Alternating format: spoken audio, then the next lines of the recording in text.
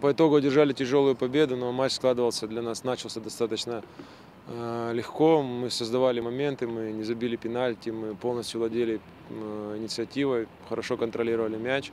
Единственное, что нужно было контролировать его быстрее и особенно там после отборов, после перехватов э, больше играть вперед. Но, в принципе, так все складывалось уверенно, счет 2-0, первый тайм.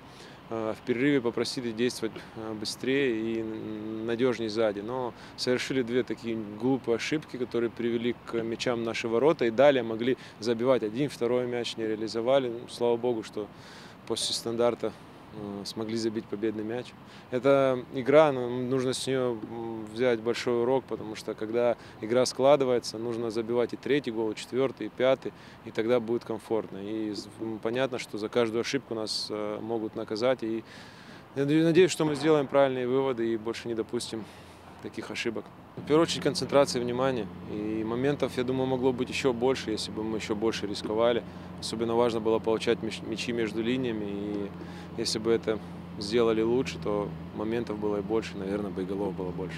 Соперник в первой игре играл по другой схеме, они играли с, э, в четыре защитника, и они играли недостаточно компактно, мы забили один, второй гол, пошли разрывы между линиями, мы там на быстрых атаках мы забили гол, э, еще голы, там матч закончился 6-1, была более уверенная победа, но соперник значительно прибавился в организации, они стали играть более плотно, компактно, большими силами обороняясь, рассчитывая на контратаки, длинные передачи. В принципе, он достаточно неудобный стиль.